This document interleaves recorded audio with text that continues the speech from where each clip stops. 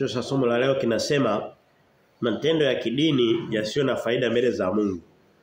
Matendo ya kidini yasiyo na faida yasiyo na kibali mbele za Mungu. Na hii ni sehemu kama ya pili. Sehemu ya kwanza tuliona somo kama hili lakini kama kinyume chake. Matendo hasa ya kiimani ya kidini vyote vile yale yenye faida. Yale ambayo Mungu ana ana kibali mbele za Mungu. Lakini hakuna ubaya pia kusoma kinyume chake. Ili kusudi kama tukijua yale yenye faida na ni vizuri tukajua na yasiyo na faida kusudi yasiyo na faida tuyaepuke yenye faida tuyashikilie. Ndio sio? Eh ndivyo tunavyotakiwa kuhubiri. Tunatakiwa tuhubiri kweli na tuhubiri kinyume chake uongo uliozoeleka.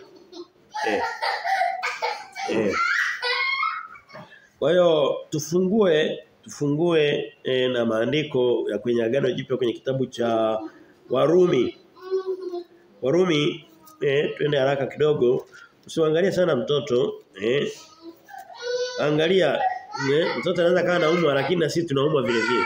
Angalia ugonjwa wako siangalia mwingine. Eh? Warumi mlango ule wa kumi mstari ule wa tatu anasema hivi.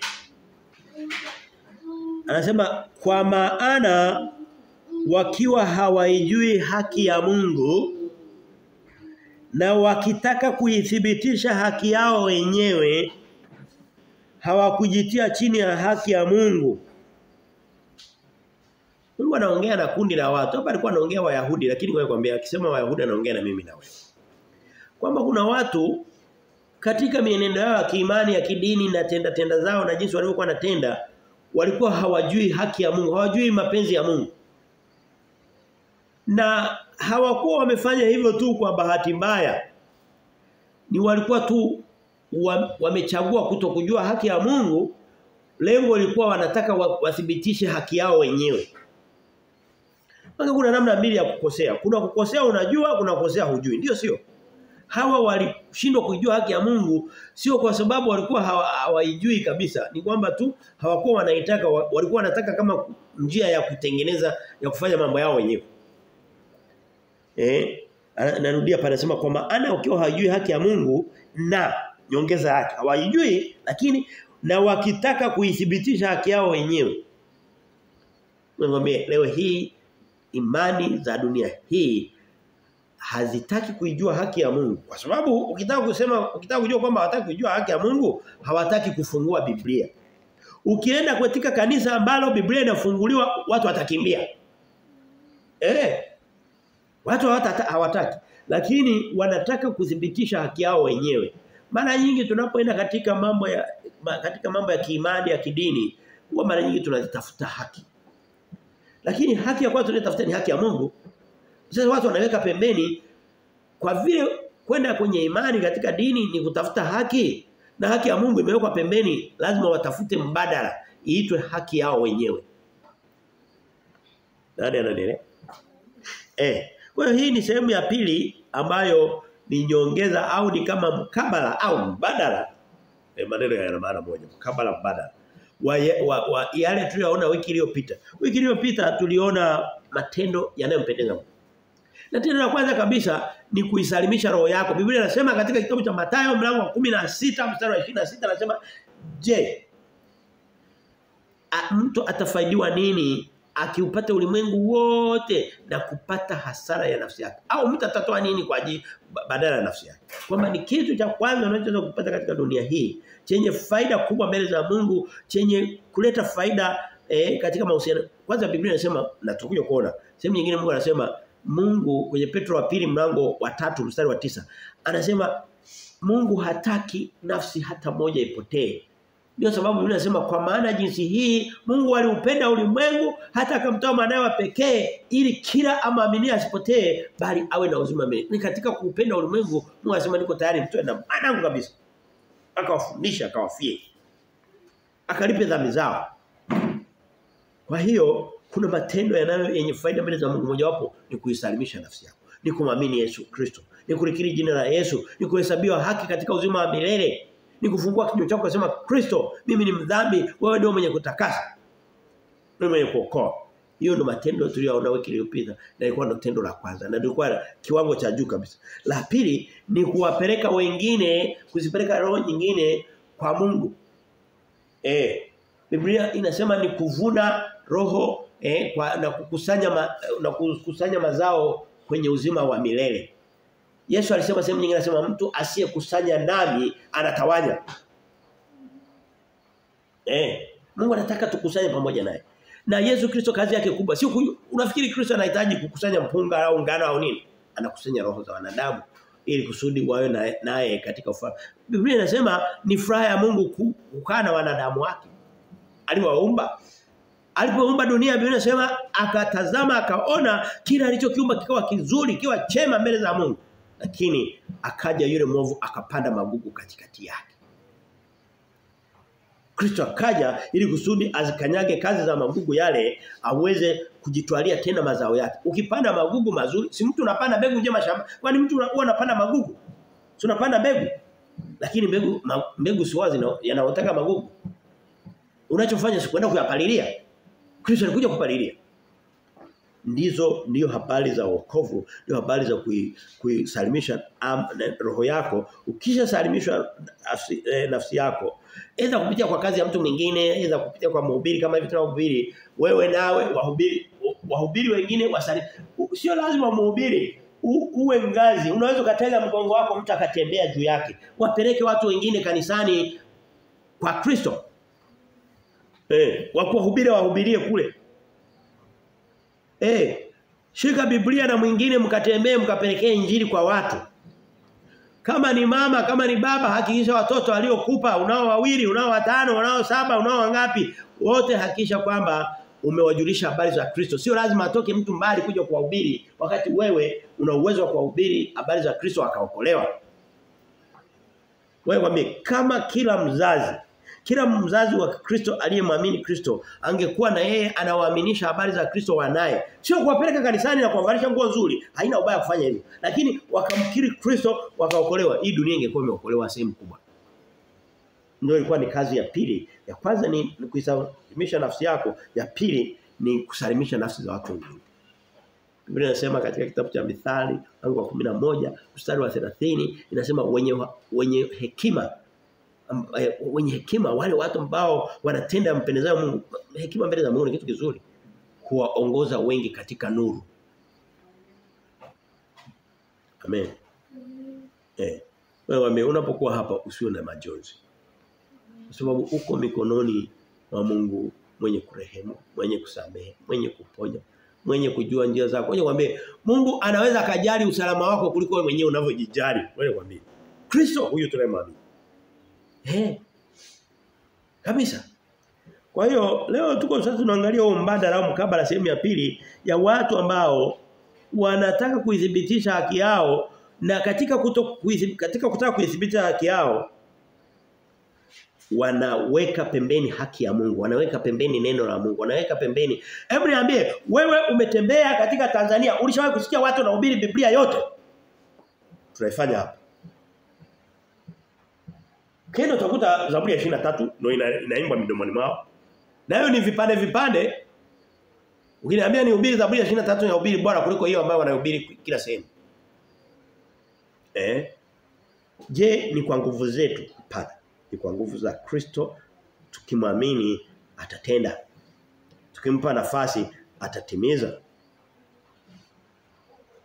Kwa hiyo, kwa nini nimeanza na mstari wa wa, wa, wa wa Warumi kumi ni kwa habari za watu wanaotenda matendo ya Mungu ya kiimani ya kidini katika makusanyiko yao. Lakini kimsingi hao watu wako wako kwenye makubaliano na Mungu au wamepishana na Mungu.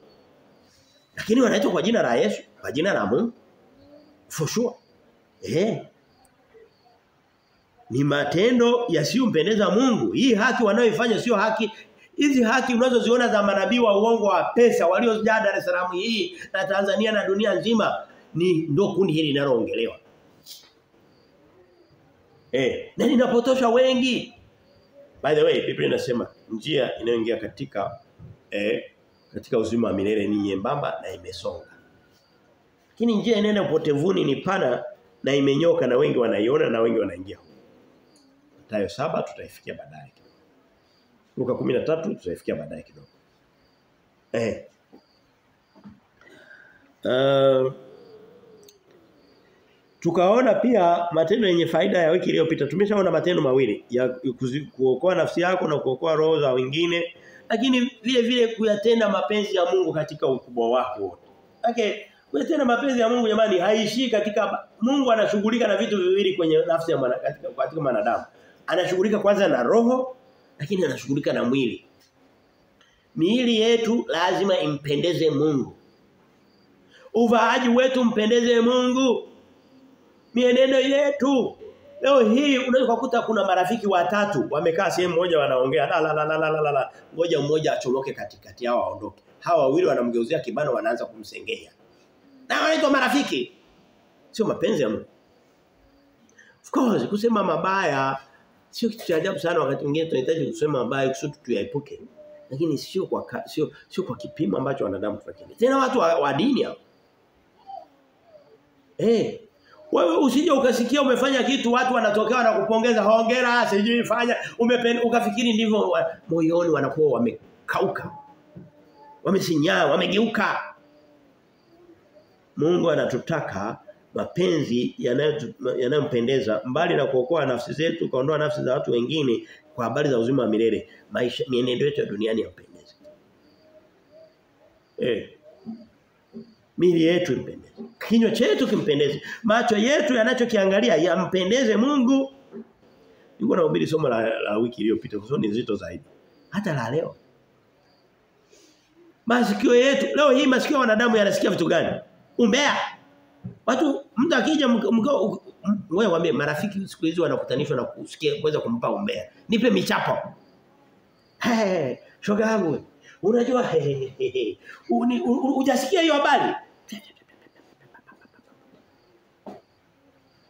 Masikio, miziki michafu.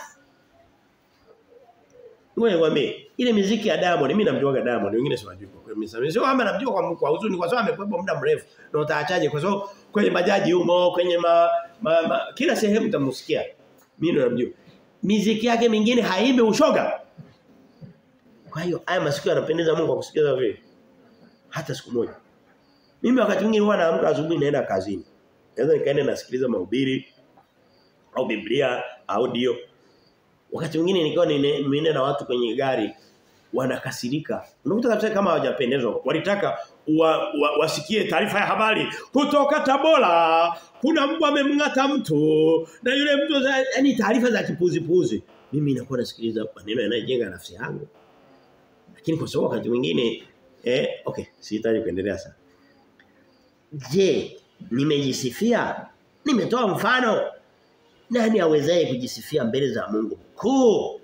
Lakini haituzuii kutoa mfano wa namna ya kuenenda ili kusudi tuende mbele zaidi na zaidi na katika kuboresha zaidi. Bwana anasema sijahesabu kwamba nimeshakwisha kufika kwa sababu ninayasahau yaliyopita na ya kuyachuchumwalia yaliyo mbele ili kusudi niweze kuifikia ile mede. Eh. Lile lililoshikwa na Kristo kwa ajili yangu. Ukiweza hili lisahau nenda hili. Kama una uwezo wa kufanya ibada na au sala kila siku, sala ya kweli mbele za Mungu, safi. Kesho jifunze kusoma neno la Mungu kila siku. Kama unajifunza unasoma nusu sura, jifunze kusoma sura nzima, sura mbili tatu kila siku. Ndio kuyasahau ya nyuma na kwenda mbele. Ni ndiko kukua. Hakuna mtu anayekuwa akamaliza. Nani hapo pamoja na mimi? Eh. Eh kwa eh, kwa hiyo hem tusome kutoka katika ukisoma sina muda wa kwenda huko ngoja nieleze ni, tu kwa sababu ni, ni sura iliyozoeleka. Ukisoma katika kitabu cha Luka mlango wa 13. Hiyo wanaita parallel passage au ni ni, ni, ni ni neno linalofanana na jingine. Linafanana na Mathayo saba Mathayo saba nitaisoma yenyewe baadaye. Lakini nisome Luka yenyewe. Ni niseme Luka 13:24 25. Eh kwa sababu najua Kristo huwa sio wasomaji wengi sana wa Biblia. Ngoja tuende pale. Sina ninachokimbile ninachokimbizana nacho. Leo ni muda tuliopanga Mungu aliyotupa wa kumwabudu na kusikia sauti yake. Luka 13:24 Biblia inasema hivi. anasema kwanza mstari wa 23 anasema mtu mmoja akamuuliza je bwana watu wanaokolewa ni wachache akawaambia jitahidini kuingia katika mlango ulio mwembamba kwa maana nawaambia ya kwamba wengi watataka kuingia wasiweze. Wakati mwenye nyumba atakaposimama na kufunga mlango nanyi mkaanza kusimama na kubisha na kadhalika. Ninachotaka nilichokuwa nataka kusisitiza hapo ni kwamba wengi eh, wachache wa, wa wanaokolewa. Wachache ni wanaokolewa Hebu tuanze kwa kutafakari sisi wenyewe. Kama kwa, kama swali tu. Kama swali tu. Hebu naomba chukua kama dakika moja kutafakari hiki kitu. Ulishawahi kuona leo ukitafuta watu wanaotafuta wanaomtafuta Mungu. Tuje kwa mfano wa, wa, wa mji kama wa Dar es Salaam, jiji la Dar es Salaam. Ukaangalia idadi ya makanisa, ukaangalia idadi ya misikiti, ukaangalia idadi ya ya, ya, ya, ya labda vipindi vya maredioni vya dini wahubiri na nini. Unaweza kuniambia kwamba mambo ya Mungu ni, macha, ni, ni, ni yako kidogo? Idadi ya makanisa na idadi ya shule kipi ni kingi? Makanisa ni mengi si ndio? Kwa sababu unaweza kukuta ukatembea labda kilomita tano ndio ukakuta shule lakini nakuhakikishia ndani ya kilomita tano unaweza kukutana makanisa matano. Sometimes kwenye kitongoji kimoja unaweza kukutana makanisa matano pia ndani ya kitongoji kimoja lakini swali linakuja. Kwa nini Yesu anasema kwamba wanaookolewa wanakuwa wachache? Hawa wanaomtafuta huku wanapokutana na Mungu ni pengi, ni pa kutosha. Leo hii watu wanaokuambia amina amina. Yaani hata katika maongezi ya kawaida amina Mungu Mungu Mungu Mungu yuko mwingi. Lakini nakuhakikishia watu wanaoingia kwa Mungu ni wachache. Kwa lugha nyingine ni nini? Hawa watu wanatenda matendo, wanamabudu Mungu kinyume na anavyotaka. Kama wangekuwa ni wengi, kama makanisa yao yalivyo wengi, yalivyo mengi na imani, na, na imani zao, for sure, kwa uhakika kabisa Mungu angesema wanaopotea ndio wachache. Ukitafuta wanaotafuta Mungu ni wengi. Nenda katembee siku za kama za Jumapili kama leo, ne, simama karibu maeneo ya barabarani. Angalia wengine wanapanda juu, wengine wanashuka chini. Wengine wanakatiza juu, kulia na kushoto. Wako wanaenda kwenye maimani sehemu tofauti. Ni wengi kabisa wengi kabisa. Lakini Biblia inasema wanaokolewa masalia wachache. Kwa lugha nyingine kuna kuna kitu ambacho hakiko sawa. Na na anaweza kafikiri kama mimi hapo. Akafikiri kama neno linavyosema. Wamtafutao ni wengi kabisa. Wa, maana yake ni nini? wanatafuta Wana, hawana tofauti na hao tuliowasoma, wanatafuta haki yao lakini ha, wa, wanathibitisha haki yao wakiwa hataki hawaitaki haki ya Mungu. Kwa mimi utakapo ukikutana na imani na dini na mambo na watu wamtafutao Mungu eh katika makusanyiko na nini katika makanisa na mimi naongelea kanisa kwa sababu ndo najua linamtafuta Mungu. Eh ukiona kuna upungufu wa neno la Mungu ukakuta kuna shughuli mipango ratiba eh, kuna activities nyingi zinaendelea. Ujue hawamtafuti Mungu wanatafuta haki yao. Na ni wengi utawakuta sehemu nyingi utazikuta. Wiki iliyopita nilifungua na mstari wa 30 uh, wa 40 mpaka 42 wa, waruka kumi kwa habari wa wale ma, maumbu wawili. Maria Maria na na Martha. Maria akatulia inaonekana alikuwa mdogo. Akatulia akawa anamsikiliza Kristo vizuri. Martha akawa yuko busy anashughulika na mambo ya Kristo labda anamchemshia maji labda anamnyosha nguo labda anamtafutia perfume mpake na mafuta na nini.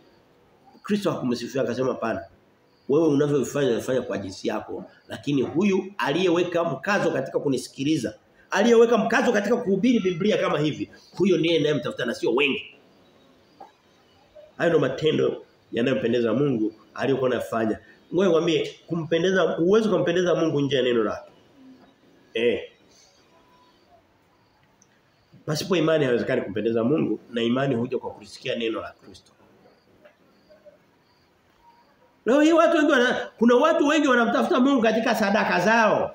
Yaani anakuambia nikishapata ka faida kangu na lazima nikate nikapeleke kwa mchungaji akale maneno maneno yale. Inakuwa kishia vitu vingi vile ni kupotoka. Lakini huwezi ukamngoa hapo. Ah Sasa ana haki yake anaithibitisha. eh ana haki yake anaithibitisha. Maneno yanasema yanakatisha tamaa? Maneno ya kukujenga, maneno mepesi, mazuri. Hakuna kitu kizuri tena wakati mwingine Mungu ana Mungu ame ningekuwa na ubiri kama manabii wa zamani kama akina Yeremia na akina nani watu wote wangekimbia kabisa. Wale walikuwa wanatumia maneno makali. Eh. Walikuwa wanatumia maneno makali. Lakini neno la Mungu haliji katika yani maneno ana, maneno kama ya kujipendekeza pendekeza. Unajua kuna wa, kuna wahubiri wanajipendekeza. Eh, hem tusome katika kitabu cha eh, ni lazima nipapate. Eh. katika katika Warumi. Eh. Warumi 16 mstari wa 17 anasema hivi. Ndugu na wasihi sikiliza. Mniambie kwamba mnataka niende hivi. Niwadanganye hivi. Sikiliza anasema hivi. Ndugu na wasihi waangalieni wale wafanyao fitina na mambo ya kukwaza kinyume na mafundisho mliojifunza. Yaani wana mafundisho lakini yako kinyume. Sikiliza na waeleza mkajiepushe nao. Kwa sababu walio hivyo watu wa namna hii anawaeleza hawamtumikii Bwana wetu Yesu Kristo bali matumbo yao wenyewe na kwa maneno laini ya kujipendekeza. Wanaidanganya mioyo ya watu wanyoofu. Ya actually anatumia wanyoofu lakini watu wadhaifu wasiojua mambo ya Mungu. Wewe kwambie utaenda katika makanisa mengi utakuta kuna maneno kama ya kujipendekeza malaini laini. Malaini laini unatoka umelainika lakini umedanganywa. Hakuna hakuna faida kudanganywa habari zao. Bora udanganywe mimi ni mara 100 nidanganywe niuziwe simu fake. Lakini siuziwe injili fake. So hii ni ya milele. Nani ameelewa maneno? Eh maneno laini ya kujipendekeza katika kuhubiri kwao. Wewe wambie hata ndani ya familia unaweza ukawa na wazazi wawili mmoja akawa anajifanya maneno laini ana kudanganya danganya unaendelea kupotea. Lakini mwingine anakuambia mwanangu hicho unachofanya ni kosa. Akakujenga akakuokoa. Eh. Sehemu nyingine anasema katika kitabu cha mithali anasema ni heri eh, ni heli jeraha za rafiki kuliko kubusubusu au kama kubusubusu au kama ku, kama kusifiwa sifiwa kwa adui. Adui anakusifia ni kwa, hivi Eva alipokutana na na nyoka nyoka alimwambia maneno makali sana. Hapana alimwambia maneno matamu. Anasema jamani huyu ni Mungu mbaya bwana. Haya haya matunda hebu yaangalie kwanza yaliyo mazuri. Alafu huyu Mungu anakupendaje wakati hajakuruhusu kuonja hilo Eva Eva akasema hivi kweli? Lakini mbona alisema tusile? Jinga wewe kula matamu. Dada naye akaenda ta ta ta ta ta, ta, sija akakamata akasikia ladha dhambi ni tamu ndugu yangu. Dhambi ni tamu. Eh lakini mwisho wake ni chungu kama pakanga Biblia inasema. Matendo Uh, wewe unaweza ukampende unaweza ukaenjoy maisha ya dunia hii si lazima uenjoy ndani ya dhambi Kweli kabisa sio lazima. Japo dunia hii imejeng ime, ime, ime, ime, imejitanabaisha imejiweka wazi kana kwamba ili kusudi uifaidi lazima utembee ndani ya dhambi sio lazima. Hivi kula chakula kizuri ni lazima ukile katika dhambi. Lakini unaweza kula chips za za dhambi na unaweza kula chips zisizo na dhambi. Yes ili kusudi unywe kinywaji kikufurahishe, kikuburudishe, wewe kuulize. Ni lazima ukinywe cha dhambi? Hapana. Unaweza kanywa kinywaji kizuri, unaweza kanywa soda nzuri, unaweza kanywa uh, juice tamu safi sana kuliko uchungu hata walibia. Wengine mtu anakuambia ah usipokunywa bia hujaridhika. Ah, pana. Pana. Um, nilisema sasa moja nije kwenye matendo makuu matatu. Kama tulivyoona matendo ma, au mambo ma, aina kama tatu za mambo au mienendo au matendo vyovyote vile tutakavyoita mambo ma, mienendo matendo. matatu tuliyoona wiki iliyopita ambayo yanampendeza Mungu na matatu eh yenye faida mbele za Mungu na leo tutaona matatu yasiyokuwa na faida mbele za Mungu. La kwanza kabisa ni matendo yote maisha yasiyokuwa na wokovu. Eh kun, na yawe mazuri yawe mabaya. Wewe leo hii kuna watu wasiookolewa. Hakika kabisa ni wema. Ni mkarimu. Kweli kabisa. Mimi niwahi niwahi kukaa na watu wakarimu wa Japani. Zamani walikuwa wakorofi sana nasikia. Baadaye walipopigwa na bomu la Hiroshima na la Nagasaki wakabadilika. Ni watu wakarimu kweli kweli. Mjapani wanaabudu ndani ya nyumba ya Kijapani lazima ukutane na kila kitu kina salamu lake lazima kiabudiwe kwa namna yake. Mjapani anazaa mtoto mmoja au wawili lakini anaweza katoa mimba hata saba. Kila mimba lazima itengenezee sanamu lake au anaiabudu ili kusudi isije kamgeuka. Wana wana magari mengi. Mjapani ukimwambia jamani usitaje shida mbele ya Mjapani. Ukishataja shida maana yake ni kumwambia hapa bongo unaweza kumwambia ah mshikaji asije. Yaani yani nina shida na hela ninatafuta. Sio wala sio kama unamwambia tu kama unapunguza mzigo wa matatizo yako si ndio? Unamwambia rafiki yako. Japani kumwambia shida maana yake unamwambia yatafutie utatuzi. Tafutie suluhu. Siku moja nilikuwa sijawajua. Siku moja nikaa naambia nilikuwa nataka kwenda kununua kitu fulani. Nikamwambia mzee mmoja. Alikuwa karibu na mimi yule mzee. Nilikuwa nataka kwenda sehemu inaitwa Ioni sijui na nini na nini na nini lakini sio kwamba nilikuwa nataka kwenda siku hiyo kwa sababu pia hamuelewani vizuri lugha. Akadhani nataka kwenda siku mimi nilikuwa nampa ratiba kwamba nitakuja kufanya labda wiki tatu zijazo. Nika nikaona mchana ananipigia simu si anakuja na gari tata. Alikuwa na gari ya kijani kijani. Sulisema unaenda hiyo ni? Na mimi nilikuwa naongea ah ulisema una shida. Aka kweli akanipeleka.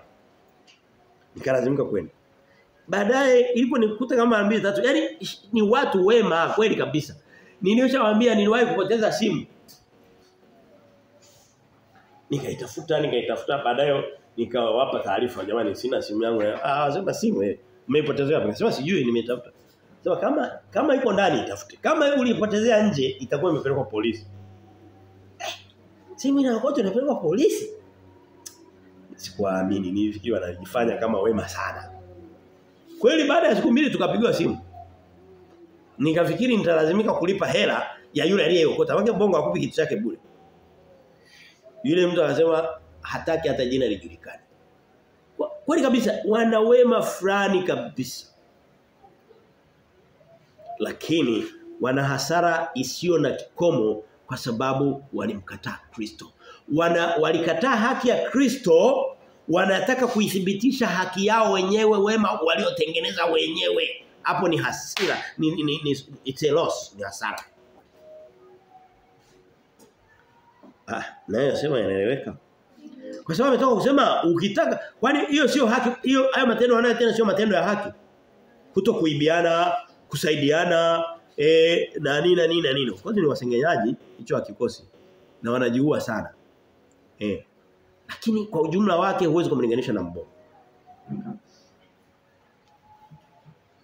Mbona maneno kama yanawakatisha tamaa? Nawaambia kweli ya niliyoiona na ni, na na, na imeachisha na, na na neno la Mungu. Eh? Eh? Ma, kwa hiyo tendo la kwanza kabisa haijalishi una tena mazuri, mabaya, haijalishi huna uchoko. Ah, hana ubaya na mtu. Akienda akishajioa bia zake sita, hatukani mtu yuko vizuri. Hiyo haki itamtupa mtu jehanamu ya moto. Kusengenyi watu haitoshi. Eh, Biblia inasema hakuna mtenda mema la hata mmoja. Anasema sio kwa jinsi haki yetu ni mbali kwa jinsi ya Kristo Yesu aliyetufunika kwa utakatifu wake. Kwa hiyo la kwanza kabisa matendo ya kwanza yasiyo na faida mbele za Mungu ni matendo ya haki, matendo mema au yoyote yale tunayoyatenda awe ni ya kawaida au ni mabaya lakini tunapoishi nje ya wokovu ni, ni matendo ya Kwa mfano jiulize una, una kuna makanisa unakuta yana matendo mazuri, wana program nzuri, wanaweza kufanya nini kupokea wageni, sio fanya nini, lakini hawana mambo ya wokovu. hiyo ni hasara. Kwa hiyo matendo mema, hasa matendo mema pasipo wokovu, matendo mazuri ni hasara eh, kabisa. Ya kwanza, hayampendezi Mungu. Kwa sababu Mungu akiyapima, wewe kwambie, mimi nikiangalia Japani walikuwa wanatenda matendo mema na ninawasifia.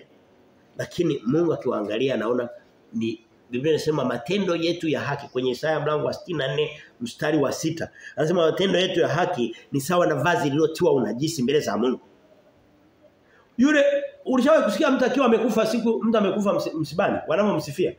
Huyu alikuwa mwema, wema ndio anakufa. Kweli anakuwa ni mwema lakini kwa kisha mbele za Mungu yule mtu anakuwa ametangulia jehanamu kama kumwamini kwa sababu uwema wake haufiki popote mbele ya kipimo cha Mungu. Mpaka tuvalishwe uwema wa Kristo. Eh. Mpaka tuoshwe na sabuni na manukato ya Kristo, manukato yako ni ni uvundo na ya kwangu. Eh.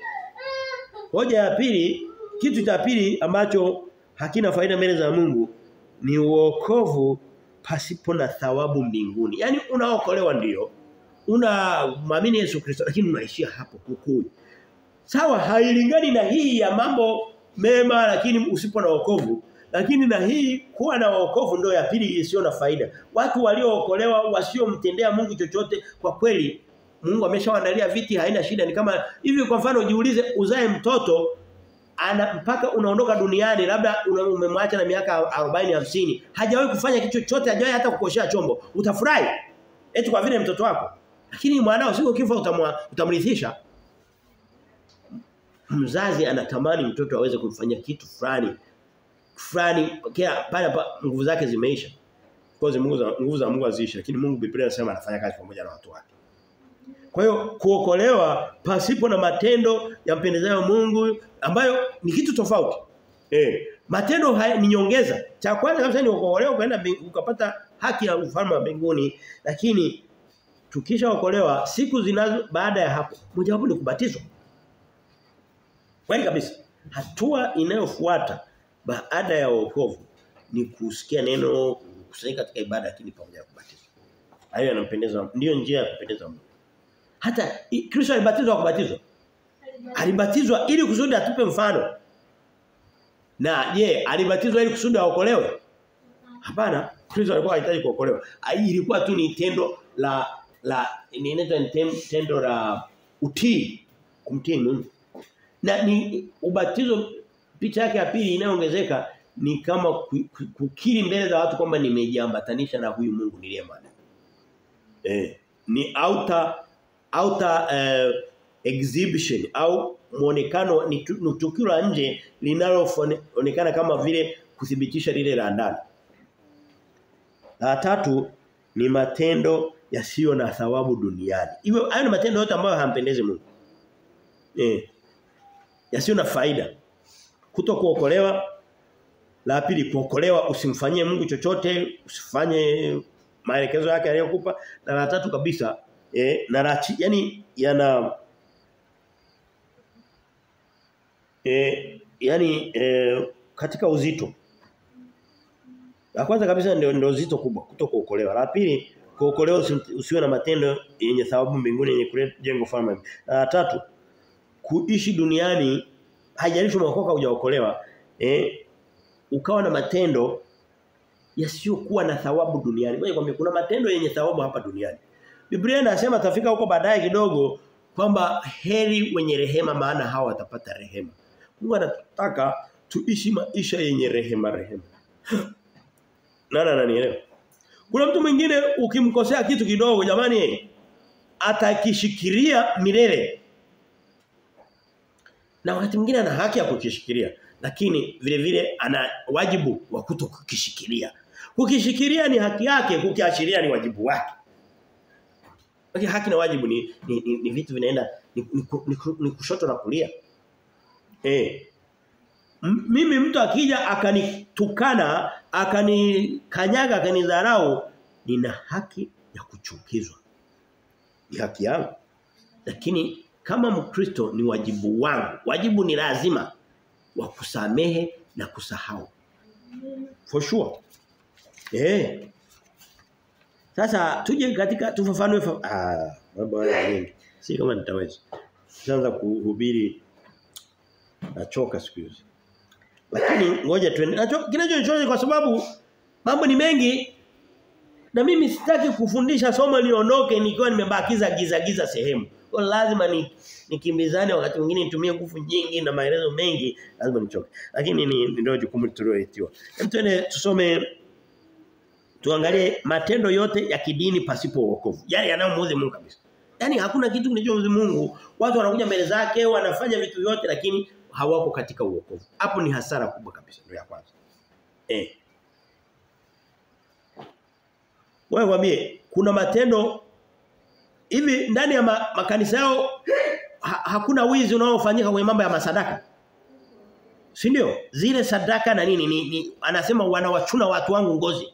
Wanawala kama wana, wana, wanawala kama wanaokula kondoo. Si ndio?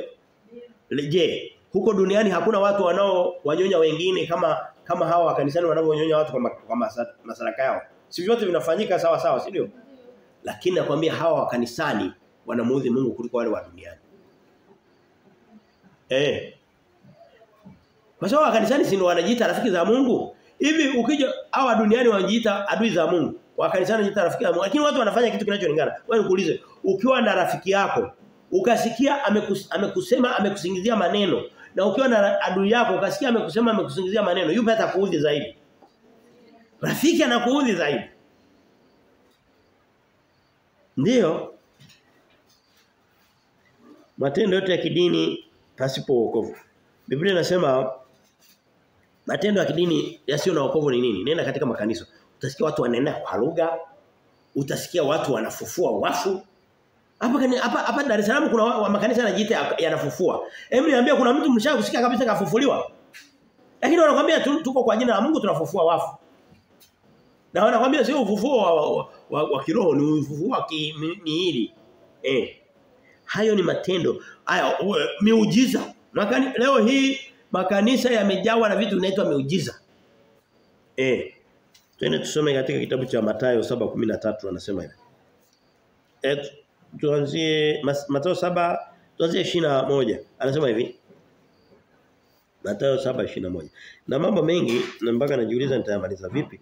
Anasema hivi, Mathayo 7:21 anasema, "Si kila mtu aniambie Bwana Bwana atakayeingia katika ufalme wa mbinguni, bali ni yeye afanyaye mapenzi ya Baba yangu aliye mbinguni." Eh, emtendelea anasema, "Wengi anayefafanua, wengi wataniambia siku ile, Bwana Bwana, hatukufanya unabii kwa jina lako." Hao watu wanafanya matendo ya kidini, wafanye matendo ya kidini. Matendo ya unabii ni kwa jina la Mungu. Eh, na kwa jina lako kutoa pepo. Hao watu wa, leo hii watu wa pepo wamejaa wamejaa mjini hawajajaa mjini. Eh wamejaa. Anasema na kwa jina lako kufanya miujiza, watenda miujiza ni wachache ni wengi. Wengi. Anakuambia ndipo nitawaambia dhahiri sikwajua ninyi kama ondokeni kwangu ninyi mtendao maovu. Hawa watu wanaofanya hayo mambo yote wanakuambia hawakuokolewa. Wanamuudhi Mungu anawaambia ondokeni sikwajua. Aya niambie kama sio hawa wenye makanisa makanisa yao anawasema watu gani Kristo wanaofanya miujiza wanaofanya unabii kwa jina la Yesu wanaofanya sijini na nini na nini kama sio hao wa makanisa anawasema watu gani? Swali. Anawasema waganga wa kienyeji? Anawasema watu makanisani kwao. Hao watu Biblia inasema atawafukuza asema siwajui ninyi mwenda mtokako.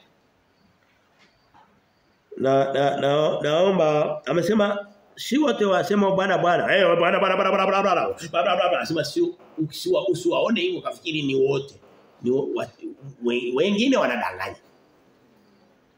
eh nimeenda kuona kufufua kwa naenda kufufua na na nini kwa jina uongo anasema bali wanaopata uzima wa milele si wote wasema sio kusema bwana bwana bwana bwana bwana bwana eh, ni, bali ni wale wanaotenda mapenzi ya Mungu. Wewe nikupeleke katika eh, katika kitabu cha Yohana. Watu wengine huo mstari ungekuwa ni Mkristo ambaye anasoma soma Biblia, angekuwa mtu anasoma soma Biblia, angetaka kuni challenge. Anasema eh, sasa tunaona ni, ni matendo, matendo ndio. Mungu anasema maten, mapenzi ya Mungu. Mapenzi ya Mungu ni yapi? Yohana 6:40 anasema hivi, kwa kuwa mapenzi ya baba yangu ndiyo haya ya kwamba kila amtazamaye mwana na kumwamini yeye awe na uzima wa milele nami nitamfufua siku ya mwisho. Bado anaunganisha kuyatenda mapenzi ya Mungu kwa kumwamini Kristo. Si kama tumeelewana kidogo hapa. Eh. Kwa hiyo unafafanua ule mstari ambao wa 21 ambao watu wengi wa mara nyingi wanasema eh unaona sasa ni mape, ni kutenda mapenzi, ni kutenda ma, ni, ku, ni kushika rozari. Ah ah. Mungu anasema mapenzi yangu ni watu wamtazame Kristo, watazame na wasikie neno lake, wamwamini yeye waweze kuokolewa naye. Ndio mapenzi ya baba yake. Na ndio sababu akamtoa mbinguni akamleta duniani. Eh.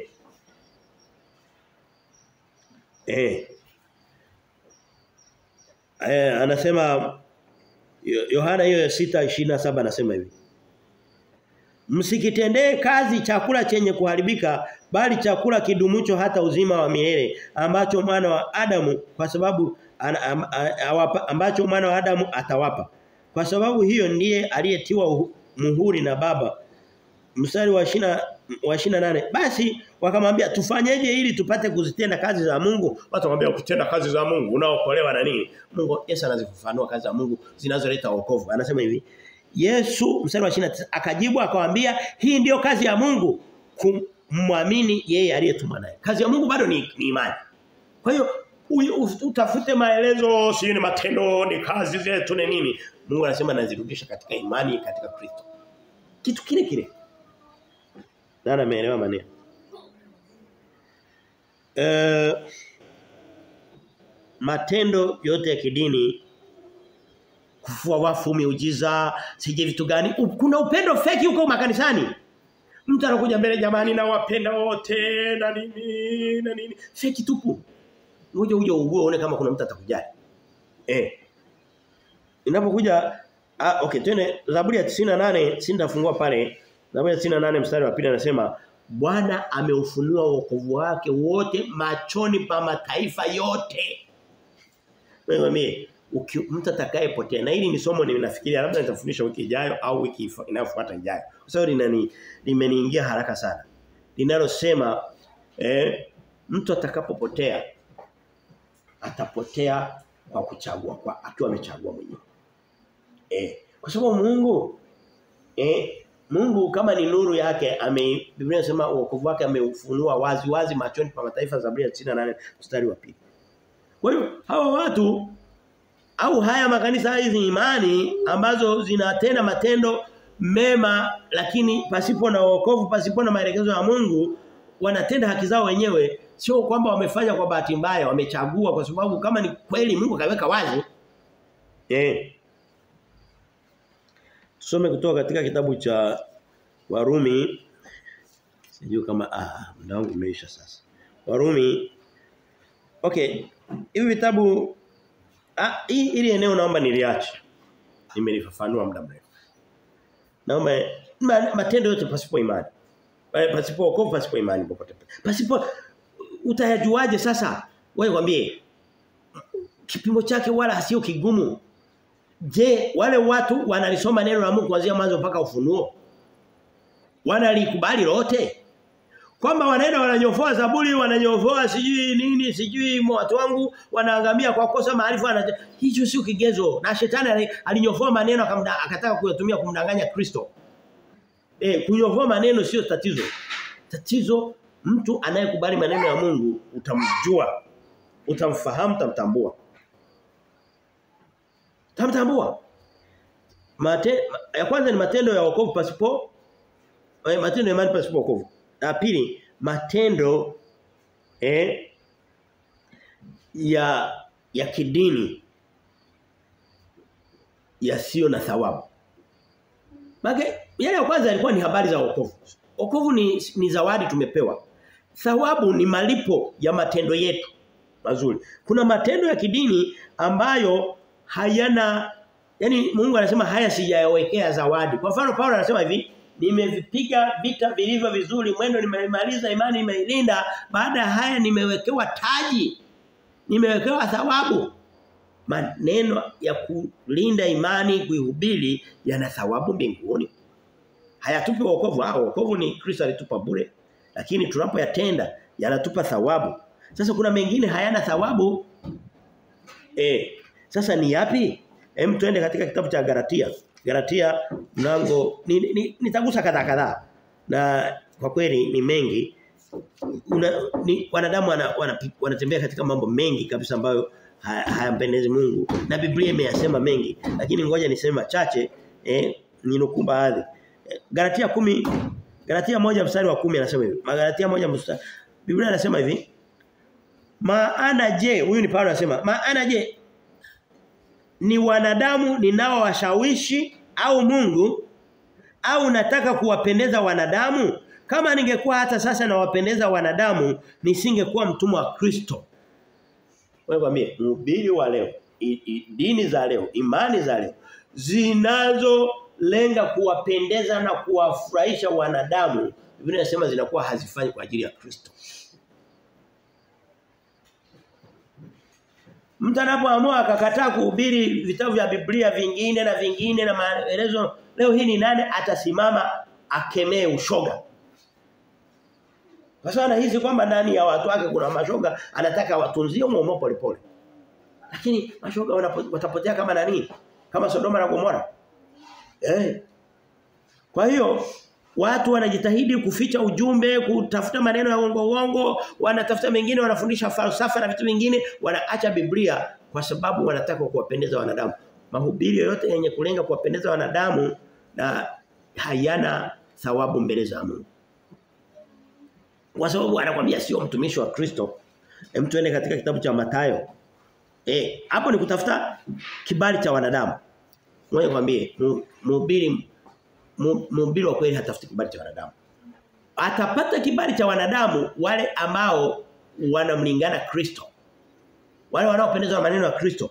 Kitabu cha cha cha Mathayo mlango wa sita Pale kwenye Mathayo sita nianze na mstari wa kwanza anasema hivi Angalieni msifanye wema machoni pa watu kusudi mtazamwe na wao kwa maana mkifanya hivyo hampati thawabu kwa baba yenu aliye mbinguni. Wewe nikwambie kuna watu wangapi wanafanya matendo tena ya kidini kwa lengo la kutazamwa na watu.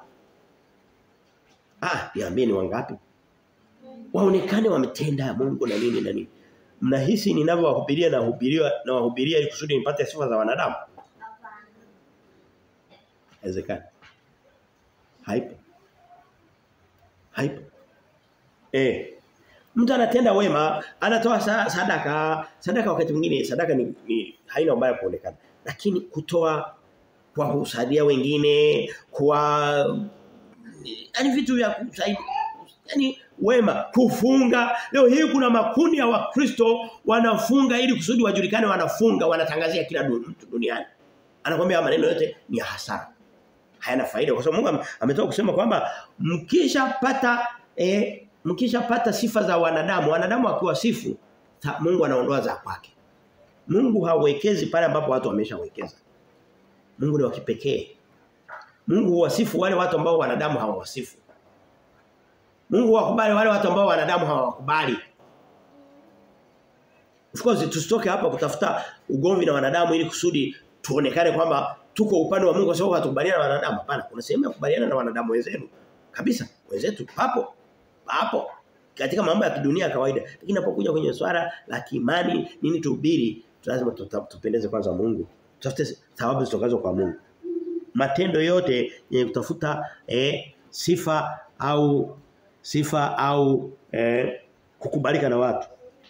Hem tuende katika kitabu cha Amos Amos nitasoma mistari mitatu e, mserereko mfuatano ukitaka kutumia yanayo anayasema mambo matatu pamoja Amos.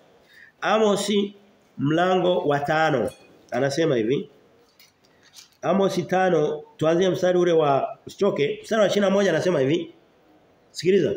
Mimi nazichukia sikukuu zenu nazidharau nami sitapendezwa na makutano yenu ya dini. Haya ni maibada, hii ni mikutano ile ya imani ile, si mikutano ya hadhara, mikutano sijui ya inaitwa nini? Ya kidini ile. Mikutano mikuu ya injili ile. Mungu anasema inaniudhi. Mkikusanyika mnakuwa mnakuja kucheza ndombolo kujionyesha uchafu wenu, hamuhubiri kweli, mnasema ninazichukia.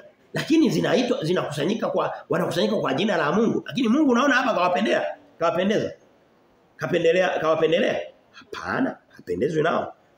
Makusanyiko ya kidini, matendo ya kidini, ibada nyingi zinamudhi Mungu kama anavyosema nabii Amos.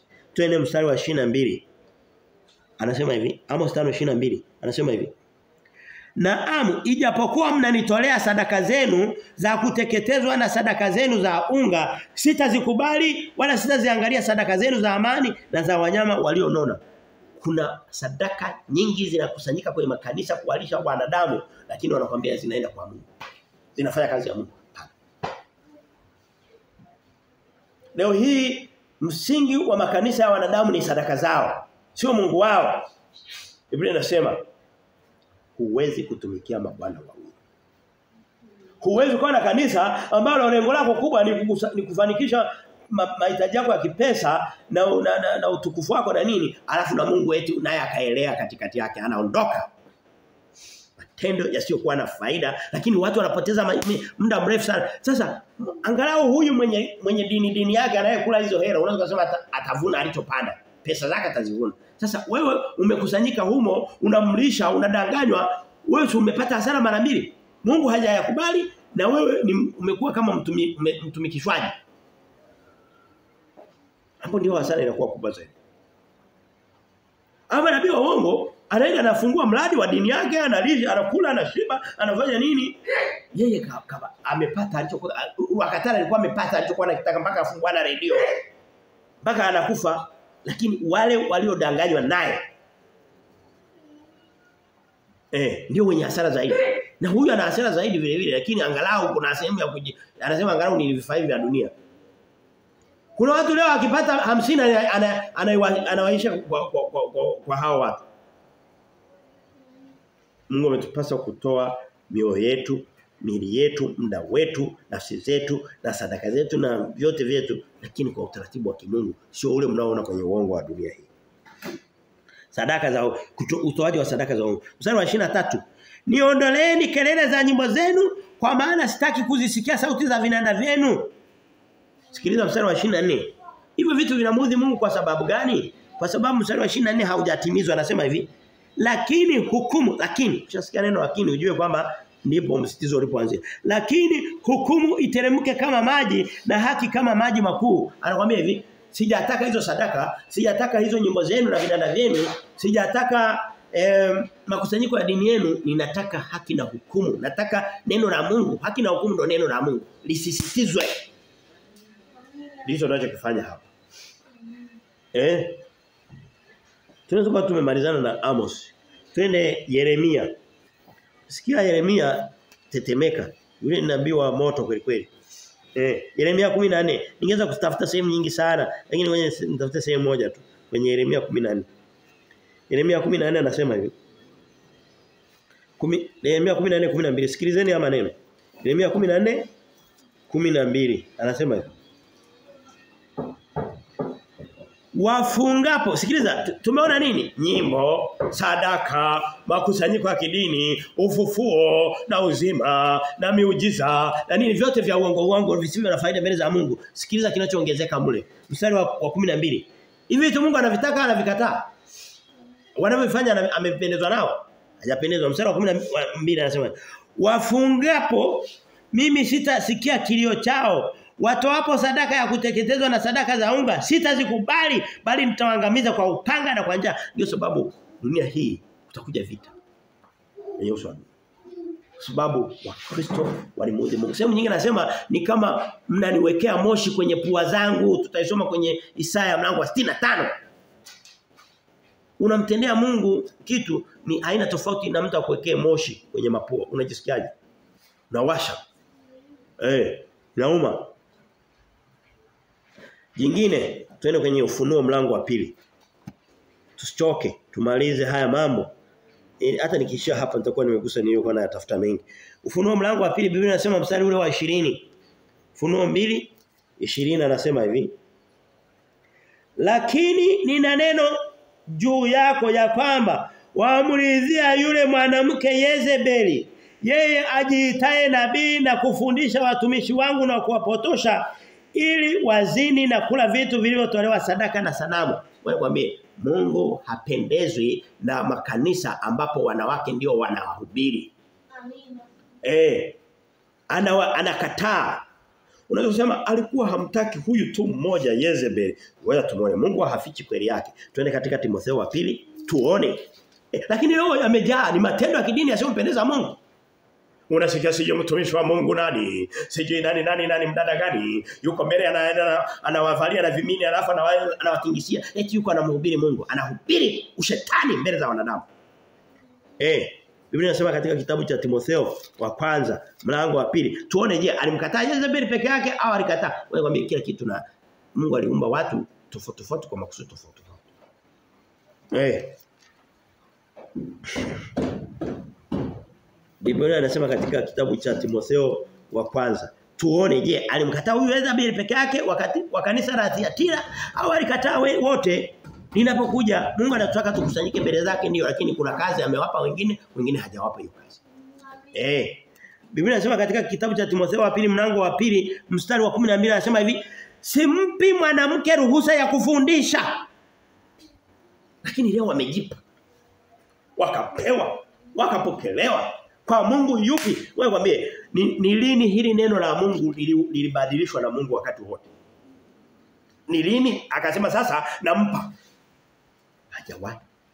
Mungu akiandika maneno yake Biblia inasema ni ya milele. Akitaka kuyabadilisha lazima ashuke mwenyewe. Ili andiko aliandika Kristo kwa kinywa cha Paulo hakuna nabii hakuna Kristo aliyerudi tena akahubiri kinyume nao. Analirudia analirudia wanadamu wameamua kama vile walivyoamua kusanya sadaka wakaamua kufanya ushetani wengine wanatafuta nguvu za giza na zilipeleka madhabahuni wengine wanafanya uchafu na nini. Vile vile wameamua kufanya hizi ibada za, za, za wachungaji wanawake. Yanamuudhi Mungu. Na matendo ya kidini ndio lakini yanamuudhi Mungu asiye na faida. Actually yenye yenye yenye ghadhabu yenye inua ghadhabu ya Mungu. Maneno makali. Hoja ya tatu. Nimeona tumeona matendo ya aina tatu. Eh matendo yote mema pasipo na wokovu ndio hasara ya kwanza. La pili, hawa watu wanaweza kawa hata wengine wameokoka lakini wanatenda matendo kinyume na maelekezo ya Mungu. Hiyo ndio kundi la pili, matendo ya kidini yasiyokuwa na faida. Yanataka kufanana fanana lakini yako tofauti. Kundi la tatu, matendo yasiyotupa thawabu hapa duniani. Jamani, ukiacha unakumbuka kwenye ruka mlango wa 16 Yesu alitoa mfano wa wa wakili mwenye mwenye busara ambaye alikuwa anafanya kazi kwenye duka amepewa wa, kuwa wakili wa, wa kazi ya bwana wake baadaye akaambiwa kwamba unafukuzwa kazi ndugu yangu. Sasa kwa sababu unafukuzwa kazi jiandae kunipa mahesabu yule jamaa haraka haraka akaanza kuambia wadeni wote alikuwa amewakopesha kopesha. Labda alikuwa anauza duka vibaya. Anasema wewe unadaiwa ngapi? Kata shusha bei na nini. Ili kusudi atengeneze urafiki nao Mungu Yesu akasema akamsifu yule Yesu si alimsifu lakini anasema yule bwana alimsifu yule mtu. Yesu akiwa anasema vile vile na wafundisheni jifanyieni urafiki jifanyieni wema katika mali za dunia hizi zisizodumu katika mali za udhalimu. Si labda ni fumbo kubwa sana lakini naomba ni, nijaribu kulifafanua lieleweke. Mungu anatutaka maadamu tunaishi kwenye dunia hii hata kama inaisha kesho inaisha kesho itaishi milele vyote vile lazima tufanye vitu vyenye kutufaidisha vile vile kwenye hii dunia ya hapa ya sasa hivi Waf, matendo wafanyie watu wema ili kusudi urudishiwe wema. Sio garanti, unaweza kutendea watu wema usirudishiwe wema, lakini wewe kwambie ukitendea watu kumi wema, wanaweza wasikurudishie wema, lakini Mungu atakuinulia watu wengine kumi au ishirini wakurudishie wema ambao hukuwahi hata kuwatendea. Wewe kwambie, ukiwa unaingia kwenye misiba ya watu na wasaidia watu kwenye msiba, wanaweza wasije kwako hao lakini siku ukipata msiba Mungu atakuletea watu wengine ambao haujawahi kuonana watakusaidia kwenye msiba wako. Yes or no? Ndio. Matendo haya haya hapa duniani Mungu anayataka naye. Lakini ni hakima cha chini. Ya kwanza kabisa umeokolewa. Ya pili kabisa unatenda matendo ambayo utakutana thawabu zake mbinguni. Ya mwisho kabisa ni thawabu za hapa duniani. Watende thawabu. Ukipata msiba ukapata watu wakakusaidia. Ukipata harusi watu wakadani. Ukipata shida wa, yani vitu vyenye vyenye malipo malipo hapa duniani. Biblia inasema mstari wa tano nitakuwa nimefunga mstari wa ta, mlango wa tano mstari wa Mathayo tano saba anasema heli wenye rehema maana hao watapata rehema. Mungu anataka tuwe na matendo yenye rehema duniani ili kusudi rehema duniani. Eh Biblia inasema Luka mlango wa 6 mstari wa 38 anasema eh wapeni watu vitu kwa sababu kipimo unachopimiwa unachowapimia watu ndicho utakachopimiwa. Hivyo ni duniani, utavikuta mbinguni, lakini Mungu anataka na hapa duniani hivyo vitu tuvifanye Kwa sababu Mungu anataka kote. Anasema nimekuja kusudi wewe na uzima na kisha wewe na hoteli. Yaani huku duniani uende vizuri na duniani ukotele vizuri. Lakini ikilazimika bora ukute vya dunia vya vya, vya mbinguni kuliko vya duniani lakini Mungu anataka vyote. Tutaishia hapa Mungu mbinguni na kushukuru kwa ajili ya neno hili. Jina lako litukuzwe na kubarikiwa. Asante Kristo.